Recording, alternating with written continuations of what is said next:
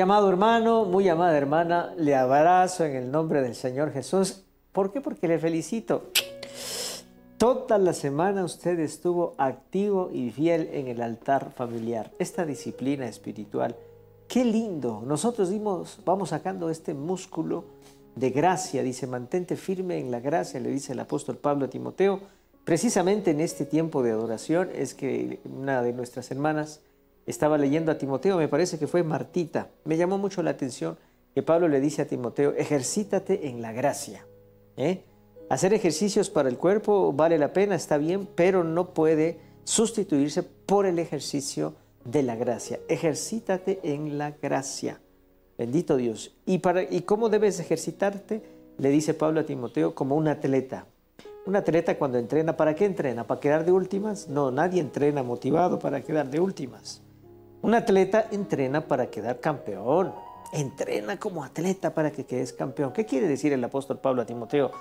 si vamos a ejercitarnos en la gracia, primero es necesario ejercitarse en la gracia. La gracia no es que eh, venga así solita mágicamente, no. Es un, un don y un regalo de Dios, sí, pero nosotros ponemos la contrapartida y es buscar esa gracia. Buscar que esa gracia sea efectiva en nosotros. Disponernos para que esa gracia nos transforme, nos avive, nos fortalezca. ¿Cómo hacemos esa disposición? Al venir cada mañana, cada instante, en realidad todo el día. Pero nosotros como Asoma Visión le proponemos a usted este espacio sagrado donde comunitariamente buscamos agradecer, bendecir, alabar, glorificar el nombre de nuestro Dios. No venimos tanto para pedir, venimos más para ofrecer. Y incluso ofrecer lo hacemos de conformidad a la reacción de haber recibido el amor de Dios porque Él nos amó primero. Debido a que Él nos amó primero, nosotros le damos gratitud y alabanzas. La pregunta que nos hacemos siempre es, ¿ha recibido usted el amor de Dios en esta mañana? ¿Ha podido usted experimentar su bondad? ¿Ha dado una pausa para poder notar y ver, a ver, si tengo esta camita, es un privilegio. Si tengo este pancito para llevarme a la boca, qué privilegio. Si tengo alguien en quien pensar y que para alguien yo soy importante, bendito sea mi Dios. Y empieza usted a enumerar y darse cuenta que todo esto es pura gracia de Dios si tengo conciencia de mi existencia, eso es porque Dios quiso que yo viva, que yo exista. Qué tremendo, bendito sea mi Dios. Santo y poderoso es tu nombre, Yahvé.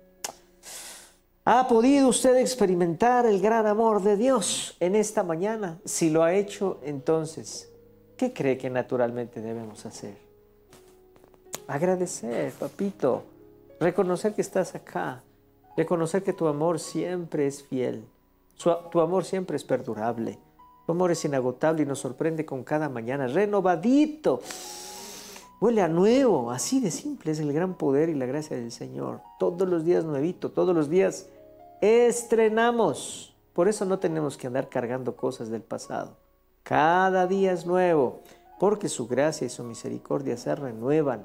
Así es que puedo empezar hoy de nuevo de cero completamente confiado de que Dios no está tomando lista y dice, ay, tienes estos pendientes. Si vienes arrastrando esto, no vas a poder, no te voy a dar lo nuevo de hoy. No, Dios nunca hace eso. Si tú estás dispuesto a soltar el pasado del día de ayer, suéltalo. Y hoy yo te regalo la nueva oportunidad de empezar de nuevo. Amén. Bendito sea el Señor. Todo eso es el gran amor de Dios que siempre se manifiesta a nosotros primerito. Es lo que nos dice la carta y nos confirma el apóstol Juan. Esta palabra me ha acompañado durante toda la semana y estoy tan emocionado, le cuento mi hermana, y por eso quiero compartir con usted. Para eso es el altar, para compartir las bendiciones que Dios nos da. Dice así, Dios nos dio muestras de su amor al enviar al mundo a Jesús, su único Hijo, para que por medio de Él todos nosotros tengamos vida eterna. ¿No es esto un motivo de alabanza y de gratitud al Padre al darnos tan inmenso amor y manifestaciones concretas y prácticas de ese amor, al darnos a su Hijo unigénito para que todos nosotros tengamos esta vida, vida espiritual eterna?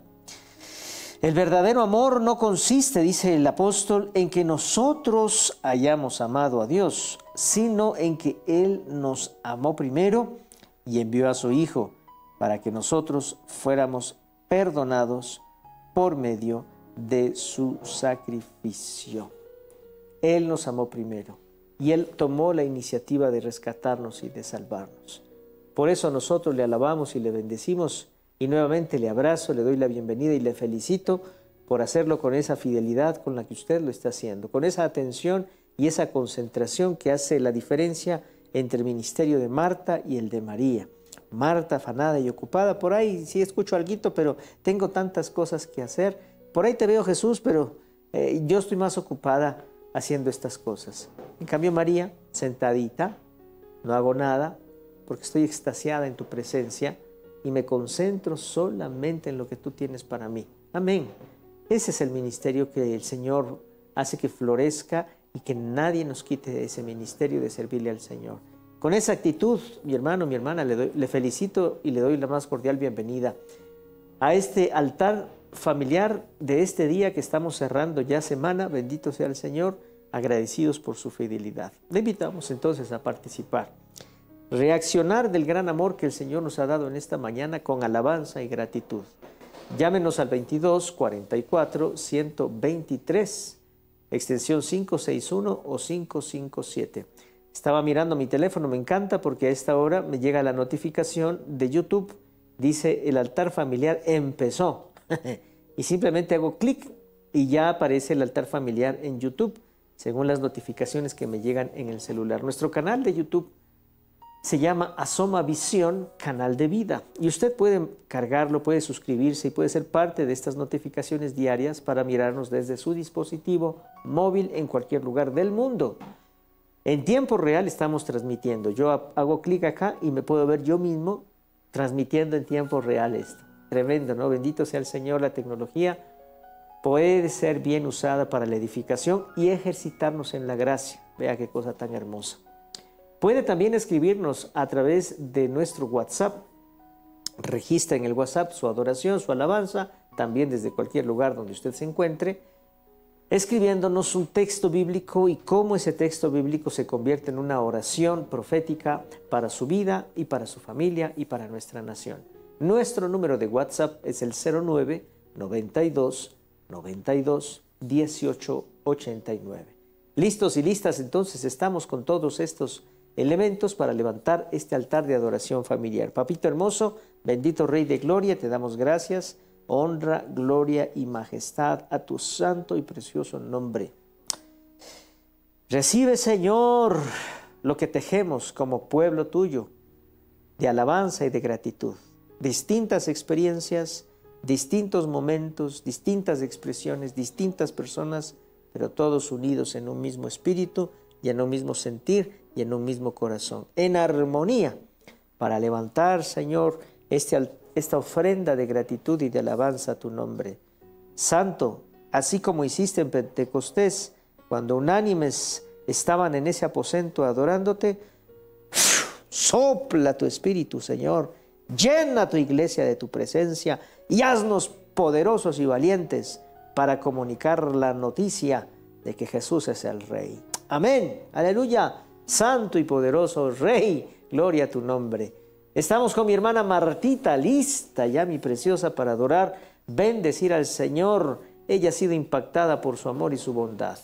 Martita, buenos días. Adelante. A usted y a todos los que componen el prestigioso canal, como es Asoma Visión, Canal 28, que llega donde el hombre no puede llegar. Gracias, Lo bendecimos el día de hoy a usted, pastor, a su familia, y a los que cogen la llamada, Gracias, y a todos los que escuchan el prestigioso gracias, canal. Y gracias a este canal que es cristiano, Padre, podemos llegar a alabarte, a glorificarte, que tú nos escuches, Padre querido, nuestras peticiones, nuestras oraciones, Padre, Escucha que a tu misma presencia, Padre, recíbela como olor fragante, como incienso agradable, como la miel que destila del panal, Dios Todopoderoso. Aleluya. Cómo no adorarte, cómo no glorificarte, Padre. Agradarte, el alfa el omega, el principio y el fin, el que hizo los cielos y la tierra, el mundo, y todo lo que hay en este mundo te pertenecemos a ti. Señor Dios Todopoderoso, primero te pido perdón, pase un carbón encendido en mis labios, Padre para darte gracias, Señor. Primeramente, Padre mm. querido, gracias te doy, Padre, por la salud de mi hijo Jorge Luis Vinuesa Martínez, Padre, que estaba bien malito, Señor. Gracias, Pero ya gracias a Dios, Padre, ya se le quitó todo lo que él tenía, porque la oración de justo fue mucho, Padre. Yo clamé a ti, y tú me respondiste, Señor, junto con la pastora Parita Sara Carrión, Señor amado. Padre, te damos gracias, Padre, porque tú has obrado en mi vida, no es el hombre, sino tú, Señor. Gracias, Señor. No me, queda más que darte gracias, Padre. Gracias, Hijo. Gracias, maravilloso, Santísimo Espíritu Santo de Dios. Alabado y glorificado sea tu nombre, Señor. Solo tú eres santo, Padre. Solo tú lo puedes hacer. Tú eres el cardiólogo, neumólogo, urólogo, psiquiatra, traumatólogo, ginecólogo, el dador de la vida, Padre mío, Dios mío. Padre bendito, voy a leer tu palabra santa y verdadera, Padre. El día que no te alabo, mi alma se pone triste, Padre. Amén. triste hasta la muerte, Padre. Cierto Yo no soy digna de ti, pero sí de tu misericordia, Padre. Hay poder en la sangre de Cristo. Nos hallamos con la sangre de Jesucristo, Padre, a mi hijo, a mi familia, a mis nietos, a mis nietos, Señor a tu sierva Marta Laura Martínez Mora. Y ahora voy a leer tu palabra, Señor, que sea escuchada en las cárceles, allá en, las montañas del hombre no puede llegar, en las iglesias, Señor, donde está fría esa iglesia, Señor, calienta la Padre, que te amemos, que te adoremos en espíritu y en verdad. Mm. Voy a leer 2 Timoteo, Padre, 4, que dice así, predica la palabra te encarezco delante de Dios y del Señor Jesucristo, que juzgará a los vivos y a los muertos en su manifestación y en su reino. Amén. Que predique la palabra, que instes a tiempo y fuera de tiempo, redarguye, reprende, exhorta con toda paciencia y doctrina, porque vendrán tiempos cuando no sufrirán la sana doctrina, sino que teniendo comezón de oír, se amonontarán maestros conforme a su propia concupiscencia y apartarán de la verdad el oído, volverán a la fábula. Pero tú, sé sobrio en todo, soporta las aflicciones, haz obra de evangelista, cumple tu ministerio, porque yo ya estoy para ser sacrificado y el tiempo de mi partida está cercano. He peleado la buena batalla, he acabado la carrera, he guardado la fe, por lo demás está guardada la corona de justicia, la cual me dará el Señor juez justo en aquel día, y no solo a mí, sino también a todos los que aman su venida. Mm. Procura venir pronto a verme, porque demás me ha desamparado y amado, amando a este mundo y se ha ido a Tesalónica, Crescente fue a Galaxia y Tito a, a Amalcia. Solo Lucas está conmigo Toma Marcos y tráele contigo porque es, útil para el ministerio. A Titico lo envía a Efeso. Trae cuando venga el capote que dejé en Troas, en la casa de Carpo, los libros mayormente los pergaminos. Alejandro el Candelero me ha causado muchos males, el Señor le pague conforme a sus hechos. Guárdate tú también de él, pues en gran manera se ha opuesto a nuestras palabras. En mi primera defensa ninguno estuvo a mi lado, sino que todo que me desampararon no les ha tomado en cuenta, pero el Señor estuvo a mi lado y me dio fuerza para que yo por mí fuese cumplida la predicación y que todos los gentiles oyesen. Así fui librado de la boca del león. El Señor me librará de toda obra mala y me perseverará para su reino celestial. A Él sea la gloria por los siglos de los siglos. Amén. Bendito Dios, Señor Dios Todopoderoso, tu palabra ha sido leída con temor y temblor y con toda reverencia, Señor. No hay un Dios tan grande como usted, no, lo, hay. No hay un Dios quien pueda hacer las obras como, las, que, hace usted. Señor, aunque yo no tengo fuerza, yo levanto mis manos para alabarte. Aunque tenga mil problemas, Señor, levanto mis manos para darte gracias, gloria, y honor, exaltación. Maldito el hombre que confía en el hombre, Padre. Solo tú eres santo, solo tú eres santo, solo tú eres santo Santo.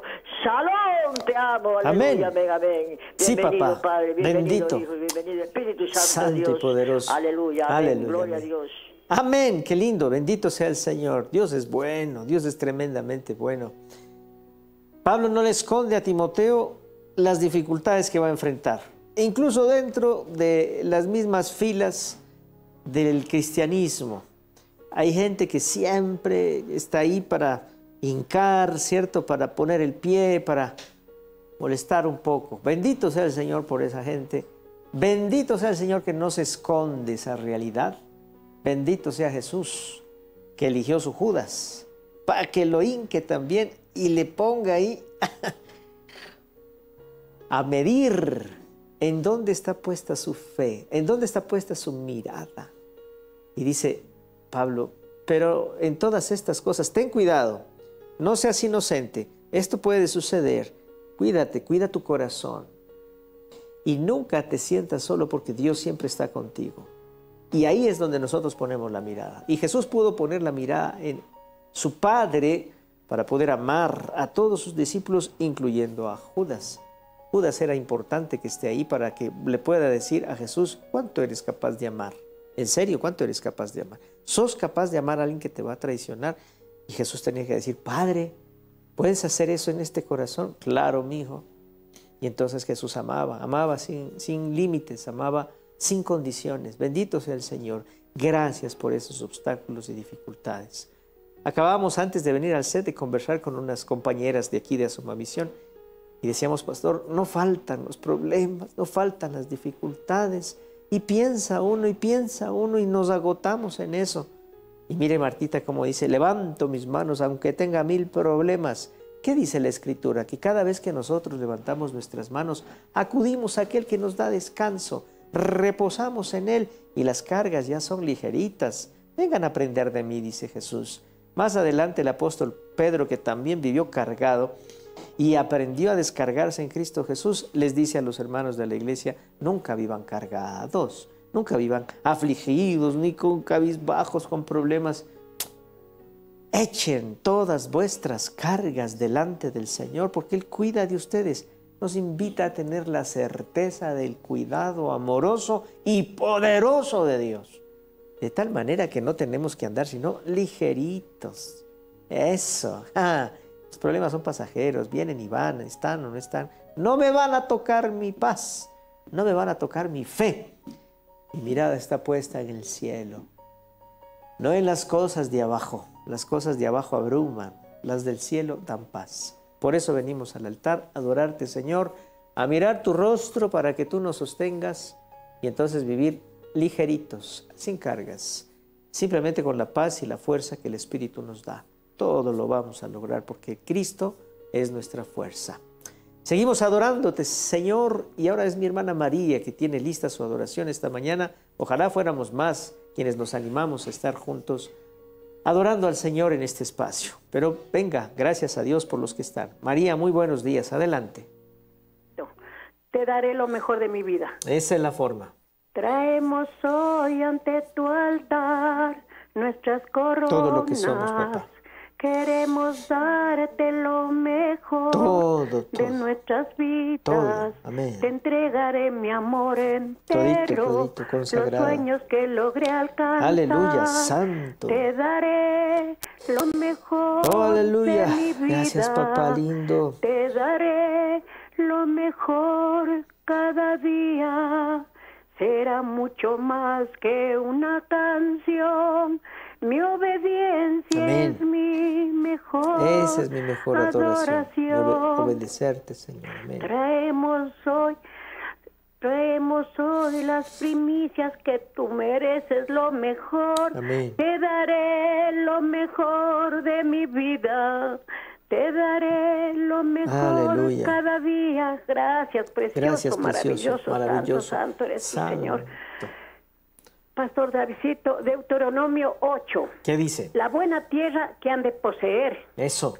Cuidaréis de, cuidaréis de poner por obra todo mandamiento que yo os ordeno. Amén. Que yo os ordeno hoy, para que viváis y seáis multiplicados y entréis y poseáis la tierra que Jehová prometió con juramento a vuestros padres. Gracias, Señor. Y te acordarás de todo el camino por donde te ha traído Jehová tu Dios estos 40 años en el desierto para afligirte, para probarte, para saber lo que había en tu mm, corazón, mm, si mm. habías de guardar o no sus mandamientos. Amén. Y te afligió y te hizo tener hambre y te sustentó con maná, comida que no conocías tú, ni tus padres la habían conocido, para hacerte saber que no solo de pan vivirá el hombre, más de todo lo que sale de la boca de Jehová vivirá el hombre. Tu vestido nunca se envejeció sobre ti, ni el, ni el pie se te ha hinchado en estos 40 años. Reconoce a sí mismo en tu corazón que como castiga el hombre a su hijo, así Jehová tu Dios te castiga. Guardarás pues los mandamientos de Jehová tu Dios, andando en sus caminos y temiéndole, porque Jehová tu Dios te introduce en la buena tierra, tierra de arroyos, de aguas, de fuentes y de manantiales que brotan en vegas y montes, tierra de trigo y cebada, de vides, higueras y, granados, tierra de olivos, de aceite y de miel, tierra en la cual no comerás el pan con escasez, mm. ni te faltará nada en ella. Aleluya. Tierra cuyas piedras son hierro, y de cuyos montes sacarás cobre, y comerás y te saciarás, y bendecirás a Jehová tu Dios por la buena tierra que te habrá dado precioso y maravilloso. Bendiciones, Pastor Davidito. Qué lindo, y bendito Dios. lo permite hasta el día lunes, Pastor Davidito. Dios mediante, mi querida eh, y preciosa hermana María, me, me impresiona y escucho cómo Dios describe la tierra linda del Ecuador. Esta tierra es promesa del Señor. Cómo lamento que no podamos aprovechar tanto recurso y tanta bondad de nuestro Padre, simplemente por el pecado del corazón humano, de nuestra nación, de nuestros ciudadanos y de nuestros gobernantes. Simplemente hemos tomado la decisión de elegir que el diablo sea el que gobierne esta tierra. Y por eso nos tiene a la mayoría empobrecidos, sin esperanza, y algunos jóvenes buscando la manera de salir de este país, a probar suerte en otros lugares, en situaciones muy muy precarias, muy injustas, muy temerosas.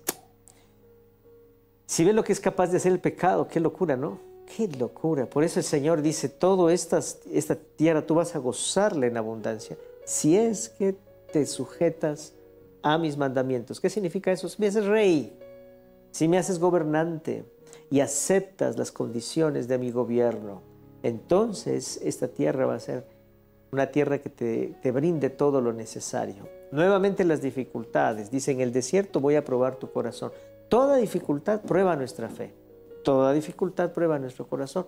Y eso es buenazo, pues.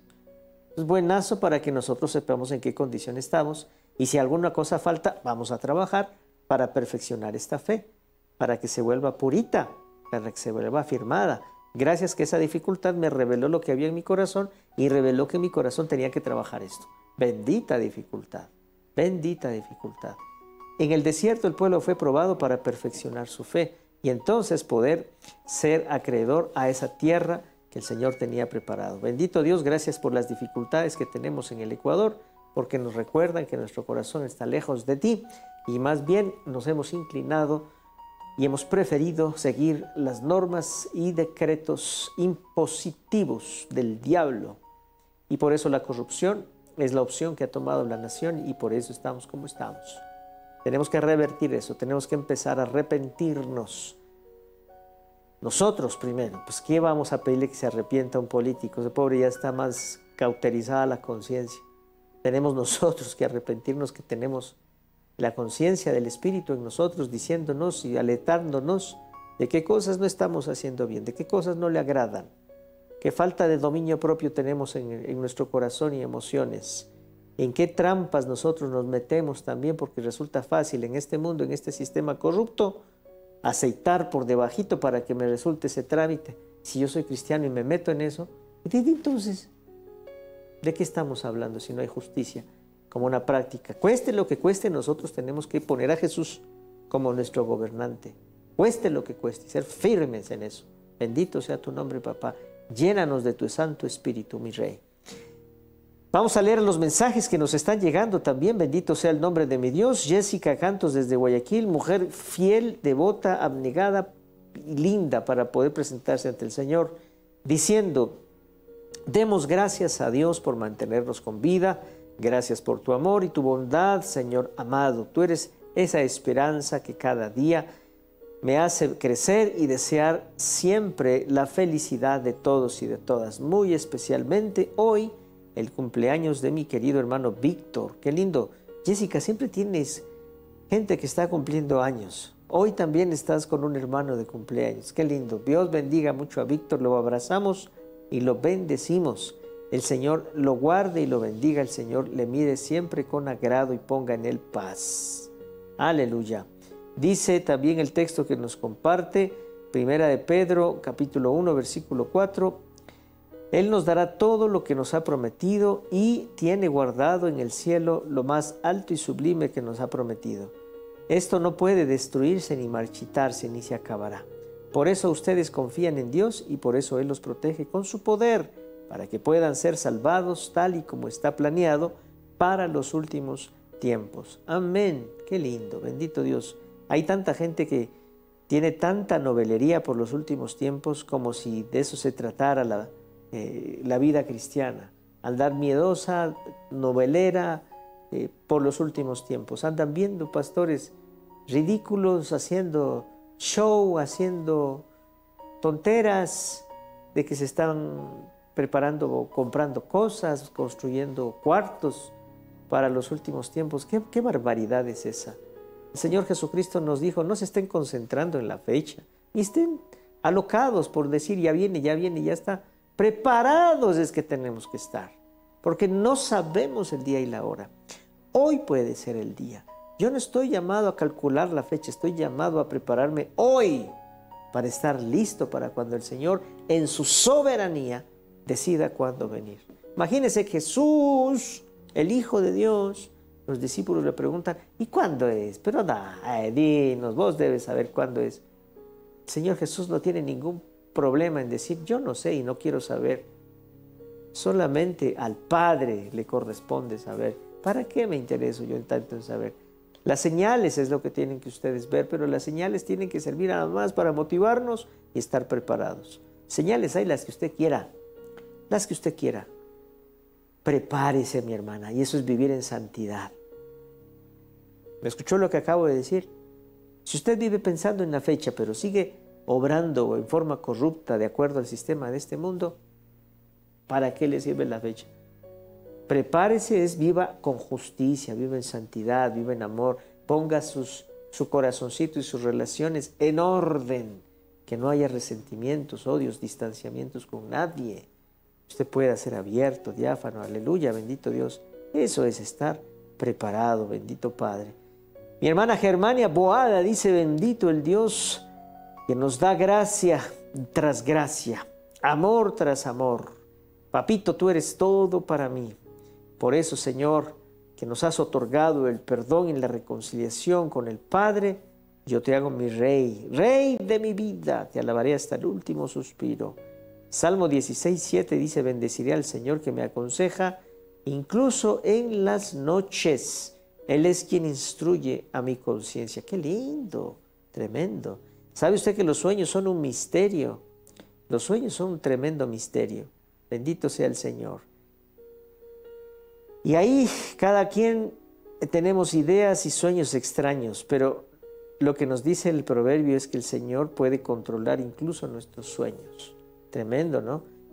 Antes de dormir, Señor, pon en orden mis sueños, sé el dueño de todo lo que yo sueño. Qué lindo. Bendito Dios. Y por eso el Señor hablaba en sueños a tantos hombres y mujeres. Sarita dice, gracias, amado Dios, en los días difíciles siempre te busco, en los buenos te alabo. En mis grandes días te alabo y todos los días, todos, buenos o malos, te necesito.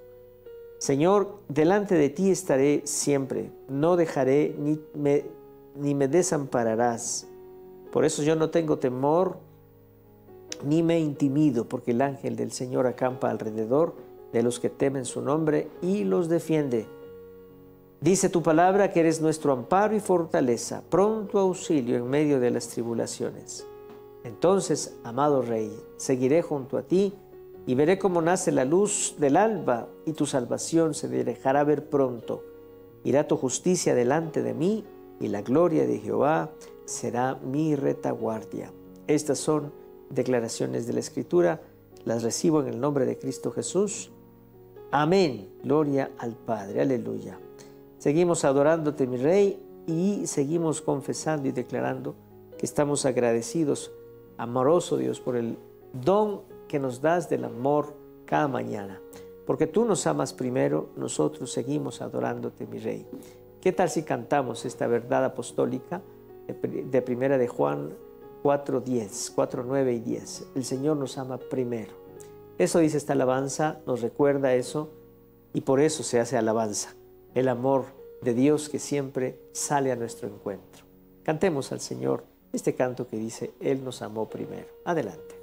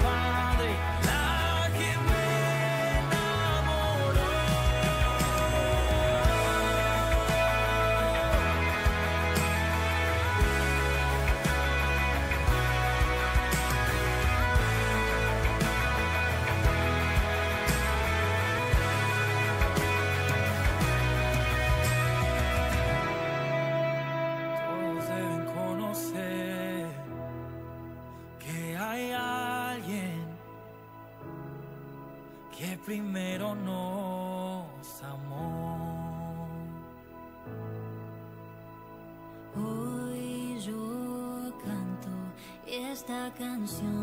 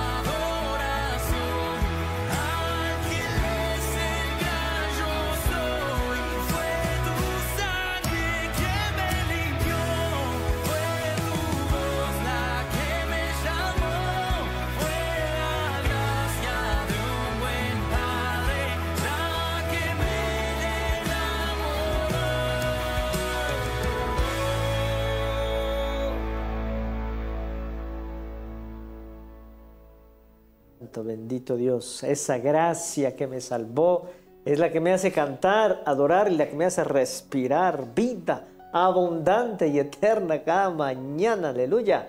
Por eso vengo acá, bendito Dios, a agradecerte y a bendecirte.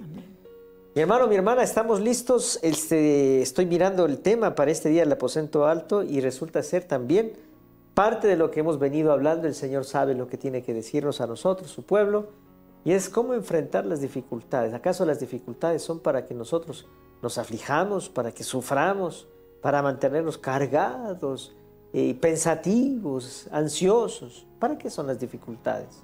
De eso vamos a conversar con el aposento alto y nuestra querida hermana Josefina Mejía, más conocida en el mundo evangélico como Pepita, está con nosotros esta mañana. ¿Cómo estamos, Pepita?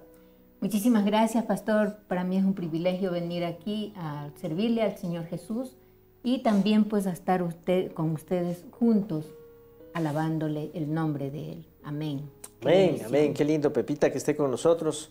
Gracias por darse este tiempo de poder caminar en este tiempo de adoración junto al Padre. Antes de ir al aposento, permítame leer unos mensajes porque El, el sentido del altar es poder llenar el trono de alabanza del Señor. Judith dice, bendito Padre Celestial, quiero caminar siempre en integridad. Qué lindo, Judith, esa es la forma. Quiero andar siempre confiada y que nunca se aparte de mí tu amor y tu verdad. Amén. Ese sentir tengo yo también. Mi querida Judith, bendito sea el Señor. Hoy es un día nuevo y especial. Quiero conocer siempre, papá, que tú eres mi todo, mi poderoso y mi gran yo soy. Que tu gracia, Señor y majestad mía, sea rodeándome todo el tiempo en el nombre poderoso del Hijo amado Cristo Jesús y por el Santo Espíritu. Amén. Proverbios 10, 8 nos comparte Judith que dice, el sabio de corazón recibirá los mandamientos, mas el necio de labios caerá. El que camina en integridad anda confiado, mas el que pervierte sus caminos será quebrantado. ¡Wow! Tremendo, poderoso principio que nos muestra la palabra del Señor para que nos animemos a tomar nosotros decisiones. Jessica Cantos, perdón que yo había, me había confundido, leí el mensaje del día de ayer que no se borró, pero ya saludé a Víctor también, que importa el cumpleaños que sea toda la semana, ocho días antes, ocho días después, como en mi pueblo. Ahora sí, Jessica Cantos, esta alabanza que tiene para este día, dice Señor, gracias porque tú sanas nuestra alma y los, las heridas del corazón para que nuestros pecados sean perdonados y no volver a ellos jamás. No se amolden al mundo actual, nos recomienda el apóstol Pablo que nos comparte Jessica. No se amolden a este mundo actual, sino sean transformados mediante la renovación de su mente. Así podrán comprobar cuál es la voluntad de Dios, buena, agradable y perfecta. Romanos 12, 2. También nos comparte Lucas 6:27 que dice, pero a ustedes que me escuchan les digo, amen a sus enemigos, hagan bien a quienes los odian, bendigan a quienes los maldicen y oren por quienes los maltratan. ¿eh? Por eso es que nada es dificultad, todo tiene un plan y un propósito. Y aquellas personitas que Dios pone en nuestro camino y que por alguna razón nos pegaron una insultada, por alguna razón nos maltrataron, nos estrujaron, nos calumniaron, por alguna razón nos tienen bronca. Bendito seas. ¿Por qué? Porque está logrando que nuestro corazón se amolde al carácter de Cristo y que y nos informan cuán amor puro hay en nuestra alma para amarles y bendecirles. Tremendo, ¿no? Bendito Dios, gracias Señor por estas personas que son quienes prueban y son eh, dones tuyos. Claro, todo está bajo tu control. Tú los envías para que me informen en qué estado está mi alma. Gracias, Señor. Si tengo que corregir, lo corregiré. Por eso siempre estoy unido a tu ley, dice Josué 1.8, y medito en ella de día y de noche, cumpliendo con cuidado todo lo que está escrito allí. Así haré que prospere mi alma y tendré éxito. Esfuérzate y sé valiente. en cumplir todo lo que ahí está escrito. Amén, gloria al Señor. Aleluya. Tenemos más mensajes, pero en adelante los vamos a leer. Ahora sí vamos a revisar lo que nos dice el aposento alto en esta mañana. Mi querida hermana Pepita, adelante. Muy interesante, pastor, lo que usted dice, eh, que muchas veces tenemos esos tropiezos en la vida cotidiana y es como Dios nos, nos va como puliendo nuestro carácter, nuestro, nuestro, nuestro caminar. ¿sí? Muy interesante. Eh, hoy día vamos a tener un hermoso testimonio desde Canadá, desde la señora Silvia Engen de la ciudad de Alberta, Canadá. Y el título dice Tormentas de la vida. Muy interesante, muy confrontativo para nosotros como cristianos que muchas veces nosotros eh, pensamos que el, vivir en, en, el cristianismo pues es como que nos va a ir todo pues todo bajo sobre ruedas y no es así. Qué interesante. Y vamos a leer la porción que nos toca y esto está en Marcos 9, del 14 al 19. Vamos a leer la palabra a ver qué, qué nos dice eh, el, el apóstol Marcos, lo que escribe. Dice así su palabra, Marcos 9, del 14 al 29. Su palabra dice así, cuando llegaron a donde estaban los otros discípulos, vieron que había mucha gente a su alrededor y que los maestros de la ley estaban discutiendo con ellos. Al ver a Jesús, la gente se puso muy contenta, pues no esperaba verlo. Todos corrieron a saludarlo. Jesús les preguntó, ¿qué es lo que discuten entre ustedes? Uno de los que estaban allí le dijo, Maestro, Traje a mi hijo, pues tiene un espíritu malo que no lo deja hablar. Cuando el espíritu entra en mi hijo, él se cae al suelo y empieza a echar espuma por la boca. Sus dientes empiezan a rechinar y él se queda rígido. Les pedí a tus discípulos que expulsaran de mi hijo a ese espíritu malo, pero no han podido. Jesús les dijo, ¿por qué no han aprendido a confiar en Dios? ¿Acaso no pueden hacer nada sin mí? ¿Cuándo van a aprender? Tráigame aquí al muchacho. Enseguida se lo llevaron. Cuando el espíritu malo vio a Jesús, empezó a sacudir al muchacho con gran fuerza. El joven cayó al suelo y empezó a echar espuma por la boca. Jesús le preguntó al padre, ¿Desde cuándo le pasa esto? El padre le respondió, desde que era pequeño. Desde entonces el espíritu malo siempre ha querido matarlo y lo arroja al fuego o al agua. Por favor, haz algo para ayudarnos. Ten compasión de nosotros. Jesús le preguntó, ¿puedes confiar en Dios? Para el que confía en Él, todo es posible. Enseguida el padre gritó, sí, confío en Dios. Ayúdame a confiar más en Él.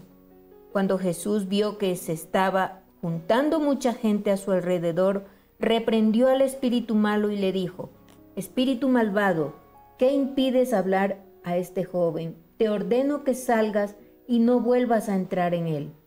El espíritu malo gritó, haciendo que el muchacho sufriera otro ataque y luego salió y lo dejó como muerto. Entonces mucha gente decía, está muerto, pero Jesús tomó al joven por la mano y lo ayudó, lo ayudó a levantarse. Más tarde, cuando Jesús regresó a casa, los discípulos lo llevaron aparte y le preguntaron, ¿por qué nosotros no pudimos expulsar ese espíritu? Jesús les contestó, esta clase de espíritu malo solo se puede expulsar por medio de la oración. Amén.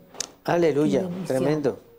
Tremendo. No esperaba este texto, mi querida Pepita, pensar otro texto debido al tema que es tormentas de la vida. Sin embargo, eh, me parece interesante que esta dificultad no solamente era la del muchacho, del papá, sino también de su papá. Así es. Y evidentemente del contexto, si habrá tenido hermanos, hermanas, tías, primas, eh, era una cosa que, venía complicando la existencia del muchacho y de esta familia. Este problema, dicen en Colombia, chicharrón, esta dificultad, ¿cierto? Se la ponen frente a los fariseos, no saben qué hacer, simplemente es un problema que no pueden ellos lidiar. Se la ponen frente a los discípulos, se rascan la cabeza, no saben, ya hicieron esto, hicieron lo de acá, que les explicaron que hagan así, asado, que pongan así, unten esto de y nada. Fue tremendo problema. Así es. Y no lograron hacerlo. Ah, Jesús interviene entonces y esta, esta dificultad y este problema encuentra una vía de salida, una vía de solución. Benditos sean estas dificultades que nos exigen renunciar a nuestras capacidades para que nosotros tengamos que mirar una sola forma de salir adelante y es mediante el gran poder que hay en nuestro Señor Jesucristo.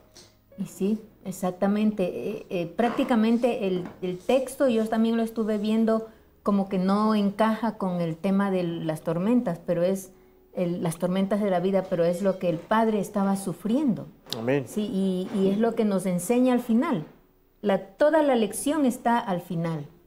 ¿Con qué se ayuda esto? Con oración. Amén. Y es lo que nos enseña dentro de todas las circunstancias que nos pasan. Y yo puedo decir, pero yo ya he orado. Así es. Y los discípulos seguramente oraron, ¿cierto? ¿A qué se referirá Jesús cuando dice la oración? De eso podemos conversar más adelante una vez que podamos leer el testimonio, porque me causa interés de poder saber, porque mucha gente dirá, pero yo ya he orado. Y los discípulos también seguramente oraron, no van a ir así nomás. Seguramente oraron por esta situación. Seguramente papá estaba orando también. Los fariseos habrán hecho lo propio desde sus experiencias. ¿A qué se refiere Jesús con esto que esta dificultad no sale sino a través de oración? Interesante. Llevo, ahorita me llevo una cosa al corazón y primero es cuando todos los recursos humanos ya han sido gastados y no hay solución, Alabo a Dios por ese problema porque me exige recurrir a su ayuda. Y para eso se necesita humildad. Podemos hacer nosotros al revés, antes de gastarnos nuestros recursos, correr primero en oración y decirle al Señor, tú vas a ayudarme y si algo puedo hacer yo con mis recursos, es pura gracia tuya, Señor. Pero primerito quiero que tú estés. En lugar de gastar todos los recursos y como último recurso, bueno, tocará ir a Dios a ver qué pasa, ¿no? Más bien eso tiene que ser lo primero. Y, es, y, cuando hay dificultades que no podemos solucionarnos con nuestros recursos, bendigo a Dios, porque me está exigiendo que vaya a una fuente inagotable de poder y que está a mi favor. ¿Crees que todo es posible al que cree? Le dice a este señor, papá, creo, pero debo confesar, no lo suficiente, pero tú estás aquí para ayudar a mi fe. Ve qué lindo, qué lindo. Creo, pero si hace falta mejorar mi fe, Señor, tú mismo eres el que me va a ayudar a mejorar mi fe. Qué hermoso, bendito Dios. Gracias por este texto, porque incluso las dificultades cuando me superan, incluso ponen en juego mi, mi, fe no perfeccionada, bendigo a Dios porque ahí está el Señor para continuar trabajando en esa fe hasta que se perfeccione. Bendito sea el Señor. Esta mañana Dios me está hablando mucho con estas palabras. ¿Qué tal si leemos entonces, mi querida Pepita, el, testimonio, que nos cuenta nuestra querida hermana Silvia?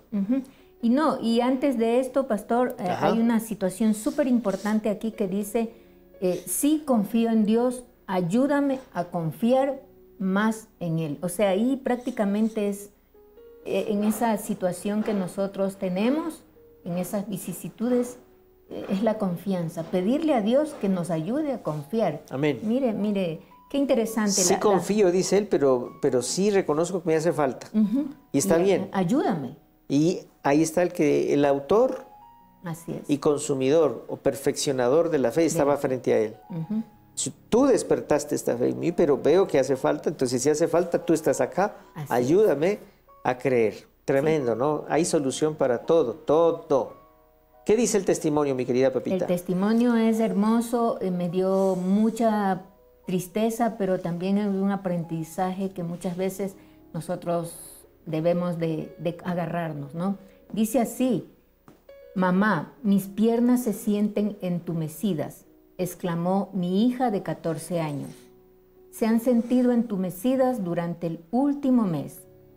El diagnóstico fue esclerosis múltiple, una enfermedad neurológica que afecta al sistema nervioso. Períodos de ceguera y pérdida de movilidad fueron difíciles de sobrellevar para una joven que disfrutaba de una vida activa. Los esteroides fueron efectivos, pero provocaron efectos secundarios. Era una madre viuda, me sentía sola y desamparada. Mis sueños para mi hija parecieron desmoronarse. Sin embargo, ella mantuvo su celo por la vida y siguió viviendo cada día con una sonrisa alegre. Aceptó su diagnóstico más rápido que yo. Pronto me di cuenta de que solo Cristo podía reemplazar mi desesperación con paz. Dios no nos promete una vida libre de estrés, preocupaciones. Dios jamás nos dejará. Cuando encomendamos nuestras preocupaciones a Dios y confiamos en que puede llevarnos a través de las tormentas de la vida, nuestro gozo no necesita fluctuar con nuestras circunstancias. Dios espera que le entreguemos nuestras preocupaciones para que podamos encontrar la paz. Amén. Sí. Amén. Entonces, es, un, es un mensaje súper eh, buenazo, es esperar, esperar en esa en esa, cuando dice pues que el agua nos llega a la nariz, cómo nos vemos, cómo, cómo sentimos esa situación, que Dios no nos abandona. Y, hay un salmo hermoso que ya lo leí, dice el, Salmo 55, 22, dice, tú deja tus pesares en las manos del Señor y el Señor te mantendrá firme. El Señor no deja a sus fieles caídos para siempre.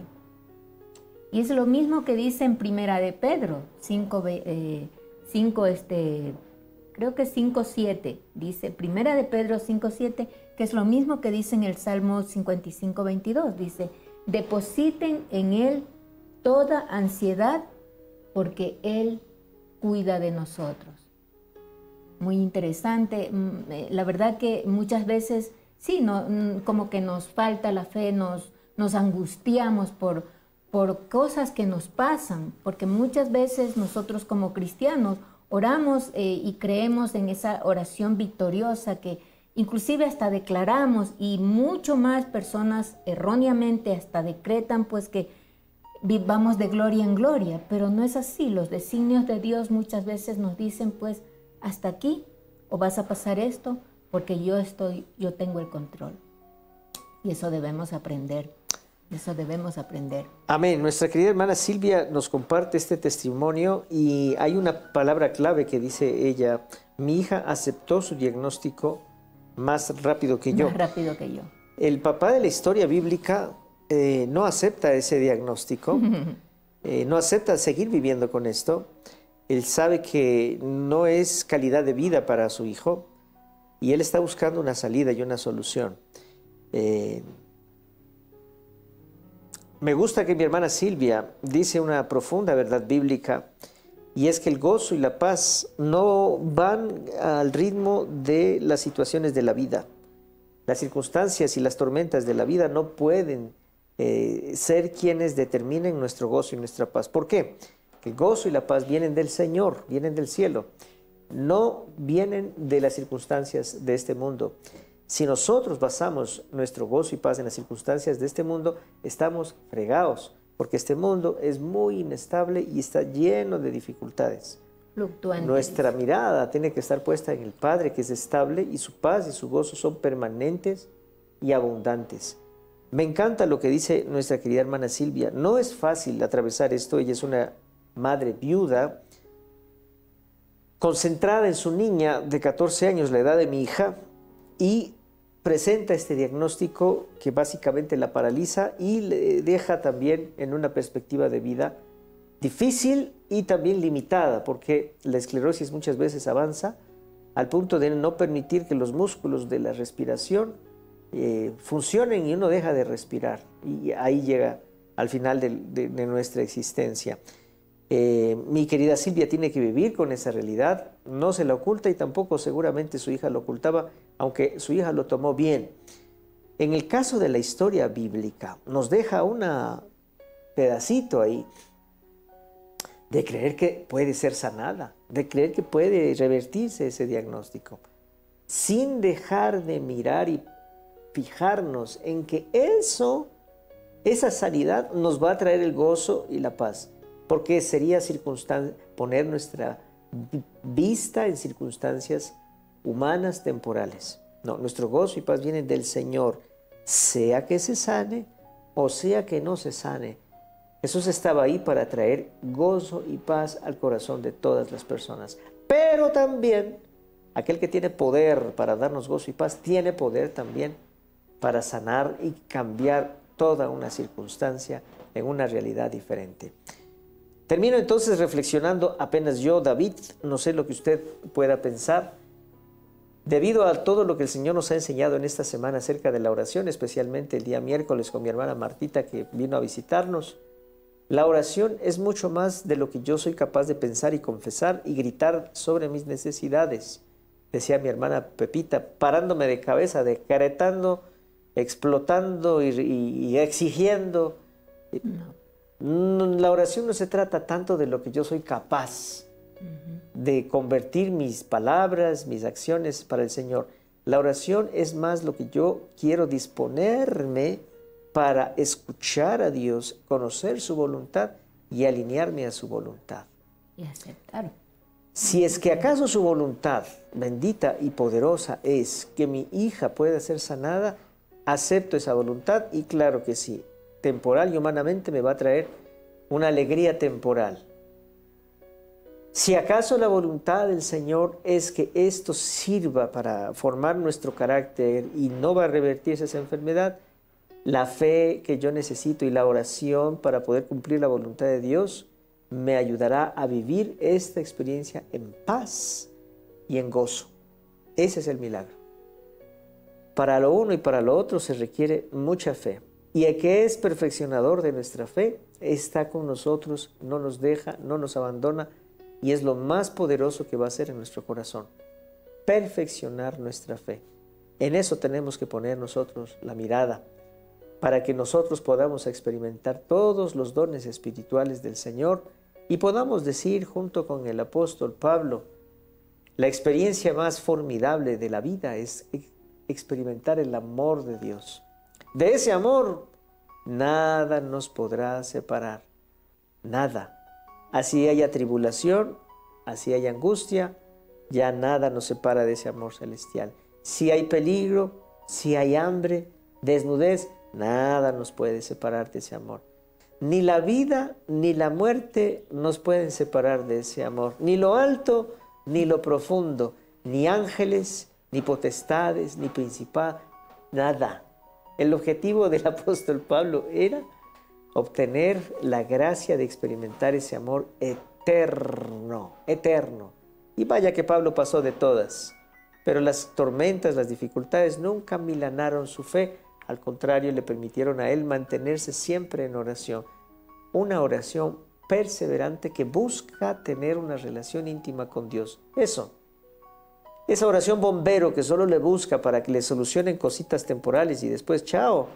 Eso no es oración, eso es una una, necesidad muy humana. La oración verdadera es la que busca profunda, íntimamente conocer a Dios, habitar en Él y hacer su voluntad. A esa oración creo yo que se refería Jesús, que decía, este género no sale sino con esa oración. Bendito género entonces que nos da a nosotros la enseñanza de que hay un nivel de oración mucho más profunda que aquella que buscamos solamente accidentalmente. Es la oración que busca experimentar su amor como algo más potente que cualquier circunstancia. De ese amor nada ni nadie nos puede separar.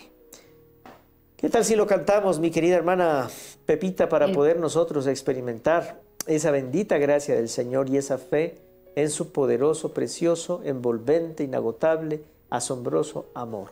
¿Quién nos podrá separar de ese amor? ¿Las tormentas, las dificultades, las circunstancias? No.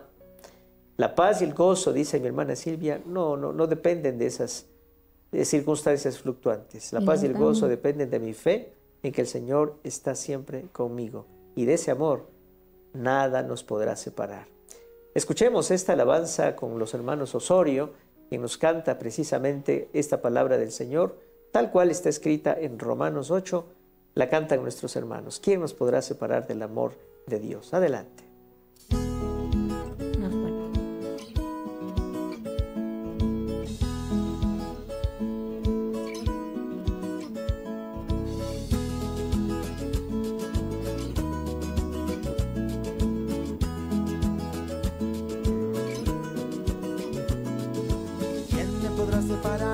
amor de Cristo. ¿Quién me podrá separar del amor de Dios? ¿Quién me podrá separar del amor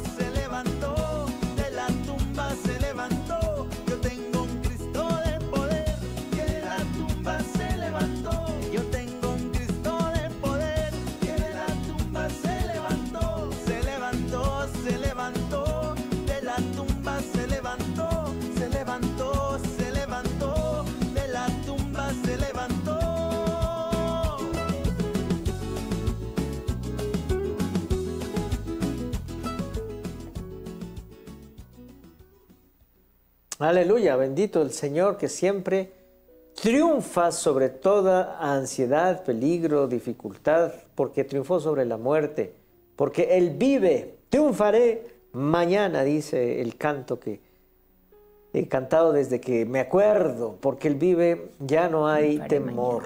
No hay temor tampoco de las circunstancias. Puede ser que las circunstancias no cambien y se agraven, pero no están en las circunstancias. Nuestra fe está puesta en el Señor Jesús. Hasta hablábamos con mi hermana Pepita, tal vez tema para otro momento. Hay que hacer la diferencia entre el triunfalismo humano y la gloria del Señor. Una cosa es una cosa y la otra es otra cosa. Muchas veces las oraciones buscan triunfalismos, exitismos humanos, pero Dios nunca va a respaldar el deseo de un triunfalismo humano, sino solamente aquel que busca su gloria. Dios respalda solamente su gloria. Nuestra querida hermana Silvia por eso nos invita a que nosotros podamos glorificar a Dios en cualquier circunstancia y dificultad. Y nos deja este pensamiento para esta mañana. Vamos a leer el pensamiento, mi hermana Pepita. Así es, pensamiento para el día de hoy, mi mis hermanos que nos están escuchando, dice, cuando me enfrento con aguas turbulentas, Dios nunca me deja ni me abandona. Amén. Repitámoslo, Pepita. Mire usted, cuando me enfrento con aguas turbulentas, Dios nunca me deja ni me abandona. Aleluya, bendito Dios, podemos decretar eso porque eso es una verdad. Dios siempre está conmigo. Y esa es su gloria y esa es mi gloria. No importa las circunstancias, yo siempre buscaré su presencia. Eso es lo que nos dice nuestra querida hermana Silvia eh, Engen de Alberta, Canadá. Yo no conocía que en Canadá hay una región, no sé si es una ciudad, cómo será ya, que se llama Alberta. ¿De dónde es usted? De Alberta. Ve qué chévere. Canadá, ¿qué tal si conocemos? Yo que no conocía me gustaría conocer un poco más. Veamos este video sobre Alberta, Canadá. Adelante. Alberta, Canadá. Alberta es una de las 10 provincias que conforman Canadá, en América del Norte. Su capital es Edmonton y su ciudad más poblada, Calgary. Alberta posee una de las economías más fuertes e influyentes de Canadá. La provincia es una gran productora de petróleo y de gas natural. Produce cerca del 70% de todo el país. Buena parte de estos recursos naturales son exportados a Estados Unidos. Además de eso, la agropecuaria, la industria manufacturera, las finanzas y el turismo tienen también una gran importancia en la economía de la provincia. El nombre de la provincia es un homenaje a la princesa Lois Caroline Alberta, cuarta hija de la reina Victoria. Alberta posee una de las poblaciones en más rápido crecimiento del país, con altas tasas de natalidad e inmigración en comparación con las otras provincias canadienses. El 81% de la población de la provincia vive en ciudades y un 19% lo hace en el campo. Las áreas metropolitanas de Calgary y Edmonton suponen el 70% de la población total. Étnica y racialmente, la población de Alberta es predominantemente caucásica. Un 85% de la población es blanca, la mayoría descendiente de ingleses, seguidos de alemanes, escoceses, irlandeses, franceses, ucranianos y polacos. El 20% de la población nació fuera de Canadá. El idioma oficial de Alberta es el inglés, aunque también se habla el francés y otros idiomas. Antes predominantemente agraria, Alberta creció debido al petróleo y la población, antes rural, comenzó a emigrar a las ciudades. Los centros educativos de todas las ciudades están administrados por un distrito escolar. La Iglesia Católica también administra algunos distritos escolares en diversas ciudades de la provincia. Tanto los sistemas de educación pública como los de educación católica reciben ayudas monetarias del Estado. Alberta posee una población de gran diversidad étnica. Las comunidades indias y chinas son significativas y la provincia acoge la segunda proporción más alta de francófonos de Canadá. Tanto Edmonton como Calgary cuentan con importantes barrios chinos. El sector turístico es muy importante para la economía de Alberta. Se calcula que más de un millón de turistas la visitan cada año, siendo un destino importante para los turistas amantes del esquí y el senderismo. El 40% de la población de Alberta se declara protestante, el 30% católica, el 2% ortodoxa, 2% musulmana, 1% budista, 1% otras religiones y el 24% restante dicen ser no religiosos. Qué interesante, no conocía y resulta ser una ciudad muy importante Alberta, Canadá. Dios ya tiene nota de que yo quisiera conocer a Alberta. Veamos cuándo Papá Dios nos regala esa, esa gracia. Vamos terminando, mis amados hermanos y hermanas, este tiempo tan hermoso del altar familiar, tiempo de devoción, de gozo, de alegría, de exaltación al nombre de nuestro Dios. Marianita Zambrano también escribe su alabanza al Padre Santo, Santo y Santo. Dice, gracias te doy por tu creación y gracias por darme el entendimiento, por saber que solo tú eres mi Dios de amor, misericordia, Dios de alabanza y de perdón, de paz y de salvación. Gracias Señor, tu amor eterno que siempre estará para mí. Salmo 98 nos comparte María Mercedes que dice así, perdón, mi hermana Marianita Zambrano. Canten a Jehová cántico nuevo porque ha hecho maravillas. Su diestra lo ha salvado, su santo brazo. Jehová ha hecho notoria su salvación. Amén. Ahora sí, mi querida hermana María Mercedes escribe su oración y con esta oración también, bendito Dios, pedimos tu bendición. Mi hermana Pepita, tenga la bondad. La oración de María Mercedes dice así, Padre Celestial, tú eres bueno, Dios Todopoderoso, eterno, omnipotente y omnisciente.